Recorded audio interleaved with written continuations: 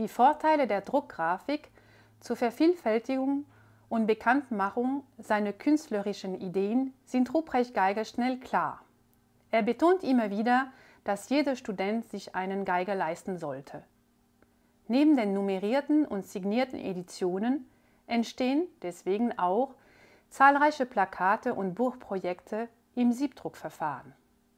Des Weiteren bevorzugt Geiger den Siebdruck als Druckverfahren, weil bei diesem die Fluoreszenz-Leuchtfarbpigmente direkte Verwendung finden. Insbesondere für viele Editionen ab Anfang der 90er Jahre werden dieselben Originalpigmente, mit denen der Künstler seit Mitte der 50er Jahre seine Gemälde und Objekte bemalt, herangezogen.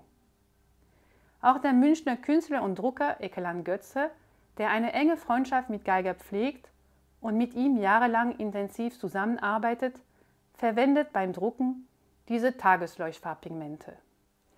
In Erinnerung daran bietet das Archiv Geiger in Kooperation mit Ekeland Götze Siebdruckworkshops an, bei denen nachempfunden werden kann, wie Geigerserigraphien entstanden sind.